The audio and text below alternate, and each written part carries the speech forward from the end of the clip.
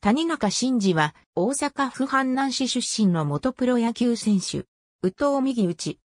専修高等学校から小西酒造へ進むと1995年にエースとしてチーム22年ぶりの都市対抗野球に出場し、初戦先発して勝利投手。翌年は神戸製鋼の補強選手として西武へ同期入団となる和田和弘と前年に続けてバッテリーを組み、プリンスホテルを相手に7回コールドながら完封勝利。1996年度ドラフト会議にて西武ライオンズから3位指名を受け入団。ドラフト指名した当日は酒蔵で樽の中に醸造中の酒の様子を確認するためにはしごに登っている谷中に、同僚が西部の指名を伝える場面がテレビで映された。1999年シーズンは新入団したマスコミ陣に囲まれる当時同様の松坂大輔を巻く影武者として谷中が一役買った。同年は8試合に登板。4試合で先発を任されたが、結果は出なかった。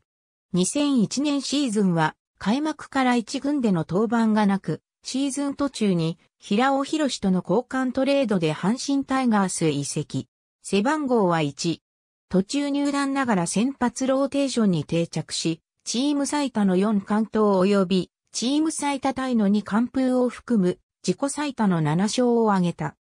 体は小さいが内角攻めの投球が得意で、阪神在籍当時の野村克也監督から、谷中は度胸のある内角攻めが持ち味だと評価され、谷中を先発ローテーションの一角にしていた。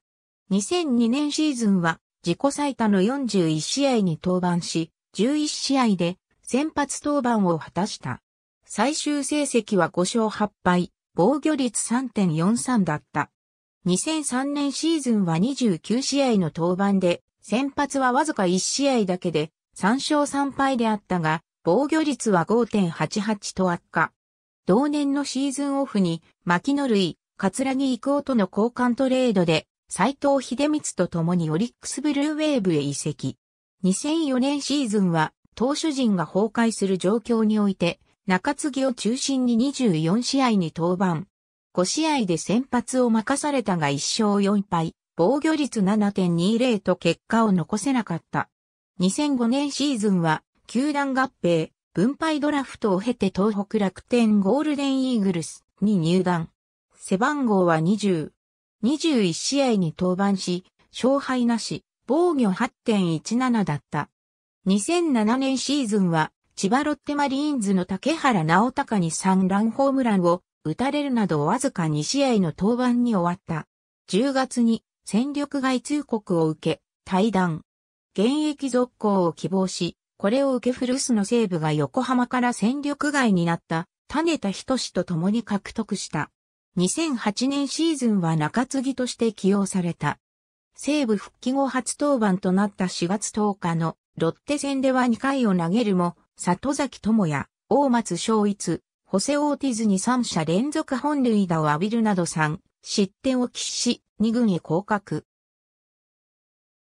8月19日に再度1軍へ昇格してからは10試合に登板して1失点、シーズンを通しての防御率は2.77だった。10月19日クライマックスシリーズ初登板し、無失点ではあったが2四死球と安定しなかった。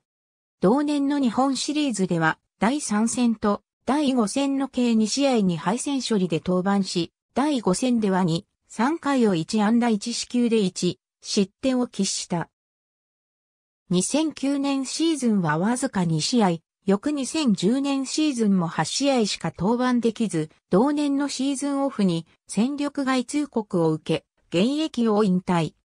11月4日に任意引退選手公示され、翌5日に打撃投手として球団スタッフに就任すると発表された。引退した翌2011年から2015年まで打撃投手、その後は2軍スコアラー兼打撃投手を務めていた。2019年シーズンからスコアラーとして阪神タイガースに復帰。インコースを攻め込む強気の投球が持ち味で、先発も中継ぎもこなせるタフネスさが魅力。楽天時代には横浜戦で村田修一の肩付近への支給について野村監督の猛抗議も虚しく、危険球と判定されると激高して、グラブを投げつけていた。お笑い芸人の田村健二とは小学校の同級生であり、軟式ではバッテリーを組んでいた。ありがとうございます。